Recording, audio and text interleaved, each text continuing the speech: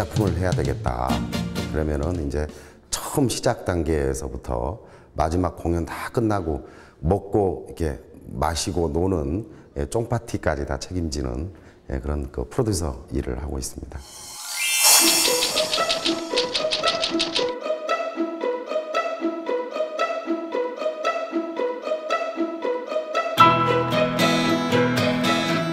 무식한 전차, 어, 또 뭐 불도저, 뭐 이런 별명들이 많죠. 남들이 그야말로 엄두도 내지 못할 일들을 하고 있고 성공할 것 같지 않은데 어, 그런 일들을 이제 제가 많이 해서 남 얘기 잘 안 듣고 어, 뭐 한번 뭐 시작하면은 그야말로 끝을 보는 예, 그런 성격이기 때문에 그런 별명이 예, 붙은 것 같아요.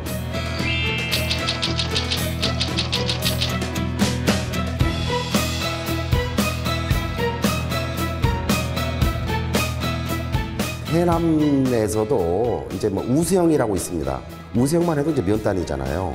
근데 저는 이제 면 단위에서도 더 들어가는 완전 깡촌 시골입니다. 뭐 초등학교, 중학교 다 뭐 2km, 3km씩 걸어 다녔지 않습니까, 옛날에. 그런 그 논도로길을 걸으면서 또 밭도로길을 걸으면서 학교 등하교 하면서 가슴 속에 풍요로운 정서들을 경험을 했던 게 오히려 굉장히 다른 사람보다 물컹한 음, 정서를 갖고 있지 않나.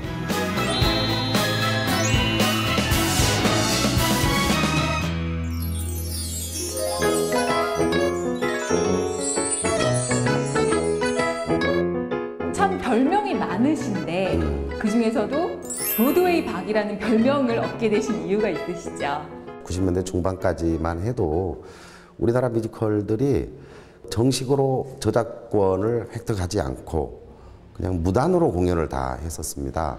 그러니까 쉽게 얘기해서 도둑질해서 공연을 한 거죠. 앞으로 대한민국의 공연 문화 예술이 이렇게 계속 가서는 공연 문화 예술의 대중화는커녕 정말 한 발자국도 발전할 수 없다. 저희 세대만이라도 그야말로 정정당당하게 또 작가를 존중하고 또 그 작품을 쓰는 뭐 작곡가의 영혼을 존중하는 의미에서 라이센스를 정식으로 한번 할 필요가 있겠다.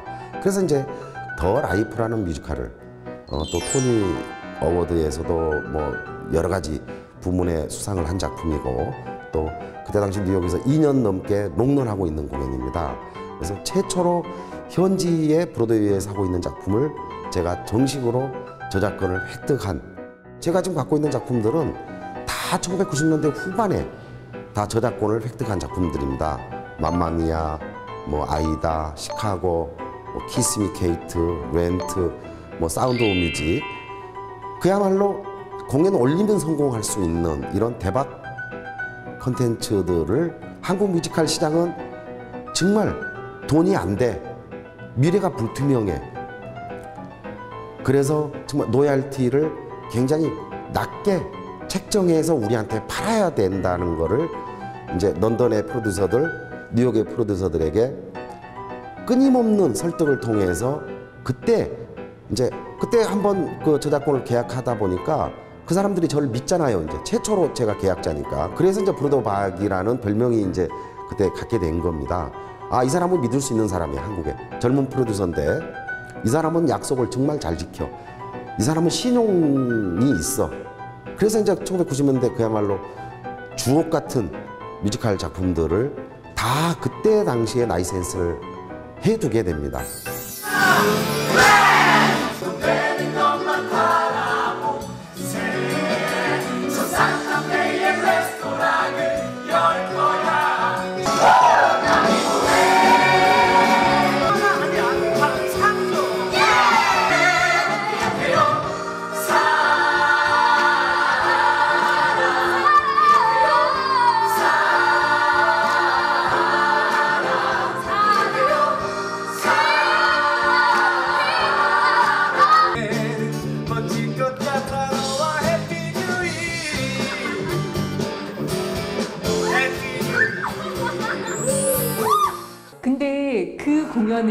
유치를 하시면서 정말 불공정한 계약을 맺으셨던데요. 지나고 보니까 어, 내 스스로를 위한 또 미래의 박명성이가 대한민국의 큰 프로듀서가 되기 위한 혹독한 저는 그 훈련이었다고 저는 생각합니다. 개인적인 입장에서 보자면 대단한 배팅이잖아요. 예, 그렇죠. 어디서 그런 배짱이 좀 나오셨습니까? 촌놈이라 그럴 수도 있고요. 예, 그 다음에 저는 뭐 이제 한 가지 확신을 갖는 거는 정말 열심히 살다 보면은 또 정직하게 도덕적으로 살다 보면은 그런 부분이 하나하나 신용이 쌓이고 그 다음에 그 사람의 재능이나 그 사람의 실력을 인정받을 수밖에 없기 때문에 예, 그런 부분에 있어서 굉장히 프로듀서 1세대로서 어, 저는 굉장히 행복한 예, 선택을 저는 했다고 생각합니다.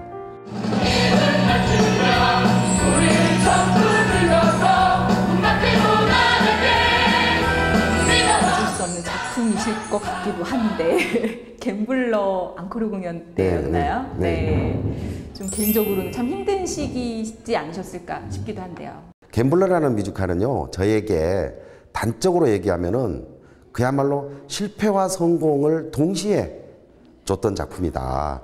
14개 도시 일본에 그 투어를 하면서 보여주지 못했던 저력을 또 보여줄 수 있는 계기가 되었고 또 박명성이의 그 무모한 도전이었지만은 좋은 작품을 만들어서 일본에까지 수출하는 최초의 또 한국 뮤지컬이 된 거에 대해서는 굉장히 그런 부분에 있어서 물론 어려움이 많았죠. 그때 저 이제 신혼 초였습니다. 전세로 사는 집을 월세로 돌려서 놓고 그 전세 비용을 빼다가 이제 배우들 개런티를 주고 기술 스탭들의 인건비를 주고 이제 그럴 때니까 그 다음에 이제 그때 그 첫째 아이 우유값이 없을 정도였어요. 우리 부부 이제 그 카드 대출까지 받아서 저는 빚주고는 못 사는 성격이기 때문에 어 그러고 이제 굉장히 이제 어려울 때 그 둘째 아이가 이제 자연유산도 이제 됐을 때고 이제 그 시기가 이제 가장 어려움이 그냥 한꺼번에 그냥 밀어닥치는 그러니까 제가 지금까지 그 연극 30년 넘게 하면서 가장 그, 그 힘들고 또 가장 그 고통스럽고 가장 시련이 많은 어, 기간이었고 또 저한테 누구도 받지 못하는 또 큰 수업 수업료를 내고 예, 저 오늘날 그 생각하면 아 열심히 안 살 수가 없어요. 박명성이의 그야말로 자생력을 길러주고 또 맷집을 정말 튼튼하게 해주는 그런 시기가 있었기 때문에 또 지금의 박명성이가 있지 않았겠느냐.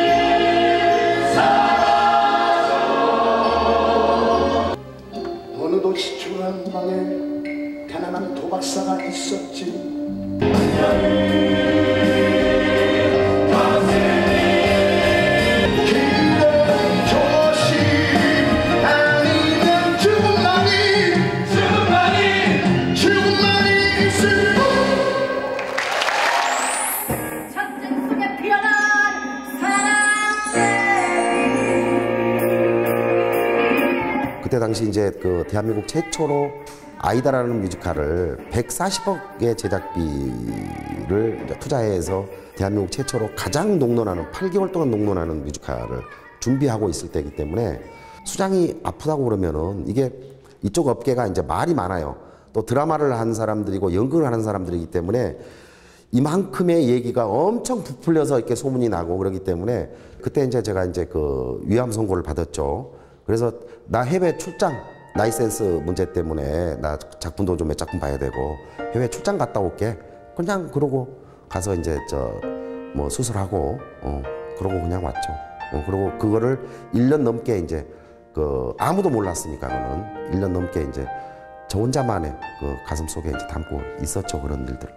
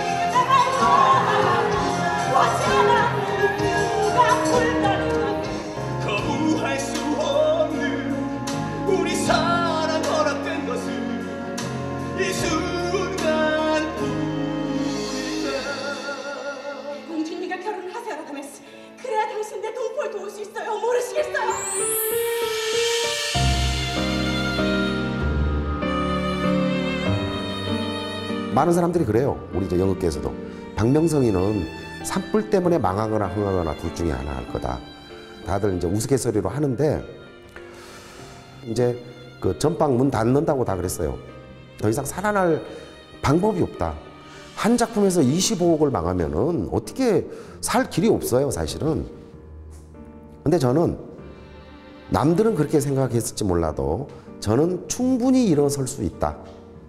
오히려 이게 10년, 20년 미래에는 이게 누구도 경험해 보지 못한 큰 자산이 될 거라고 저는 생각했어요.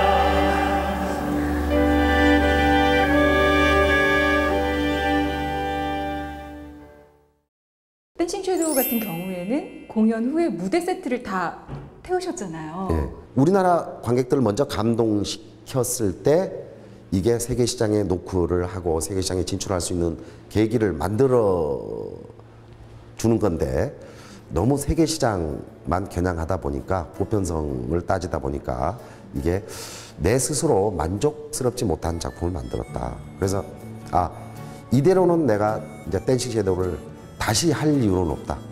연극부터 새로 시작해야 되겠다. 그래서 수억을 들여서 만든 무대 장치 의상을 그냥 갖다 불질러 버렸어요. 워낙 물량이 많아서 그 트럭 트럭 비용이 600만 원 들더라고요. 갖다 버리는데도. 그때는 엄청 힘들었죠. 아 말도 못 했죠.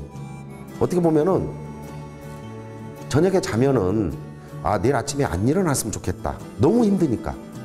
그렇지만은 그러니까 우리 집 저 제가 마마미아로 대박을 터뜨려서 분당에 이제 조그만 아파트를 하나 샀는데 오래된 아파트를 하나 샀는데 우리 그 집 문서가 은행에 맨날 맡겼다가 또 찾아오고 맡겼다 찾아오고 도장 찍을 데가 없어요 우리 집 문서가.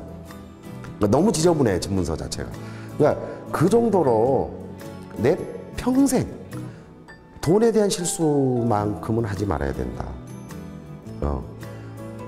문화 사업을 하면서 또 연극 예술가로서 그건 최후의 보루다.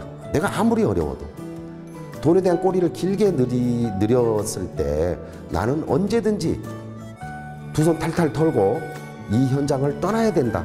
그런 정신으로 지금도 살고 있습니다. 그냥 댄싱 섀도우는 그야말로 우리 컴퍼니에 사람을 보는 눈을 또 깊고 넓은 눈을 갖게 해줬다. 그때 어려울 때 관둔 직원들도 꽤 있었어요. 근데 남아있는 사람들은 아, 우리가 여기서 정말 이대로 자빠질 수는 없다. 우리가 이대로 포기할 수 없다. 그래서 그 다음 작품, 시카고에서 한 달 후에 2주 공연을 하는데 세종문화회관에서 그것도 캔슬난 극장을 이제 저 우리가 받았어요. 2주 공연하는데 34억을 팔았어요.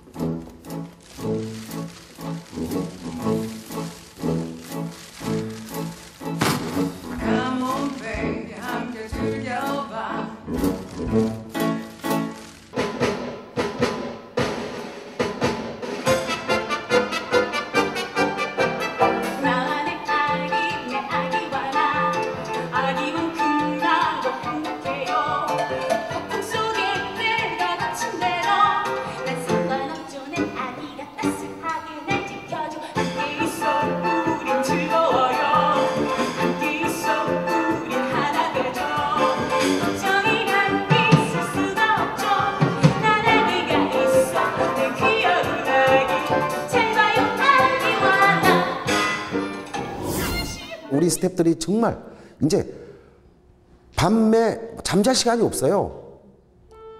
여기서 실패하면은 더 이상 회생할 수 있는 어, 정말 방법 자체가 없다.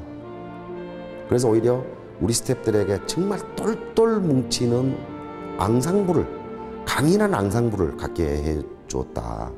둘째는 그야말로 우리도 할 수 있다는 자신감을 갖게 해줬다.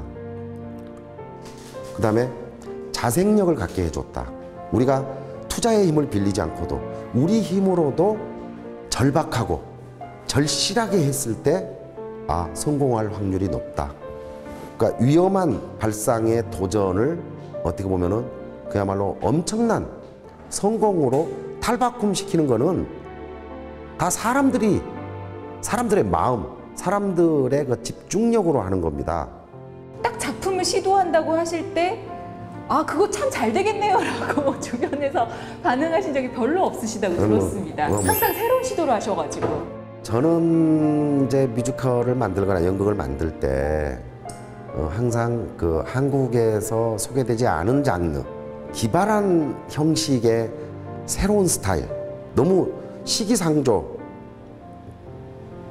라고 다들 그러죠. 그렇지만은 그런 단계가 있었기 때문에 오늘날의 뮤지컬이 정말 이렇게 활성화되고 대중화됐다고 저는 생각합니다. 초연 때의 그 작품 수준, 그 퀄리티만을 유지하기 위해서 지금까지 10년 동안 달려왔기 때문에 1400회라는 기념비적인 작품으로 지금까지 유지해 온 거라고 저는 생각하고요. 박한림 감독한테 우리 배우들 많이 쫓겨났어요. 혼날 정도가 아니고 많이 쫓겨났습니다. 조연출만 제가 10년 넘게 했습니다. 그때 조연출이면은요, 완전 허드렛 일의 신부는꾼의 저 대명사입니다. 따라가는 거는 그냥 따라가는 거예요. 모방하는 거예요. 그건 내 색깔이 아니란 말이죠. 무모할지라도 항상 새로운 일에 도전을 해야 된다.